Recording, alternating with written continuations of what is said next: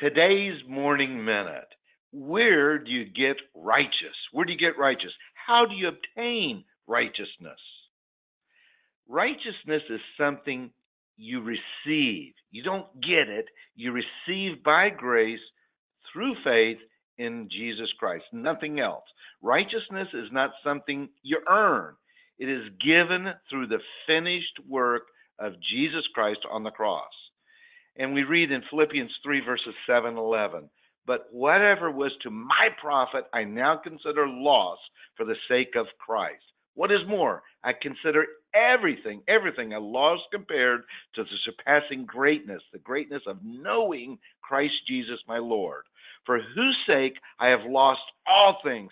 I, I consider them rubbish that I may gain Christ to be found in him, not having a righteousness of my own that comes from the law, but that which is through faith in Christ, the righteousness that comes from God and is by faith. I want to know Christ and the power of his resurrection and the fellowship of sharing in his sufferings, becoming like him, becoming like him in his death, and so somehow to obtain the resurrection from the dead.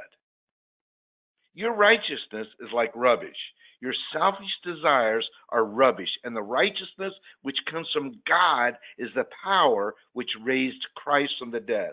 Christ Jesus imputes imputes his righteousness to you. Greater is he who's in you than he who's in the world. Christ in you is the hope of glory, the righteous one. We are created to be like Christ, righteous and holy. Be holy as I am holy.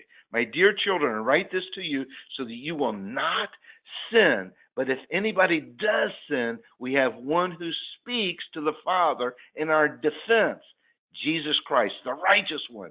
He is the atoning sacrifice for our sins, and not only for ours, but also for the sins of the whole world. First John chapter 2 verses 1 and 2. Righteous is something you receive, not something you do. You receive the gift of righteousness as an heir, as an heir of Jesus Christ because of what he did, not because of anything you did, so that you cannot boast Uh, that you earned your righteousness. This is good news. This is the good news of the gospel. You did not earn righteousness through your self effort or by following the law. Righteousness is the gift given by God through Jesus Christ as payment for your sin debt. His your sin debt. He washed away all your sin and cleansed you with his blood. You are made righteous because of what Jesus Christ did. Righteousness is received by grace through faith in the life, death, and resurrection of Jesus Christ. You, you are the righteousness of God in Christ Jesus. You can enter into his presence boldly. He loves you. Amen and amen.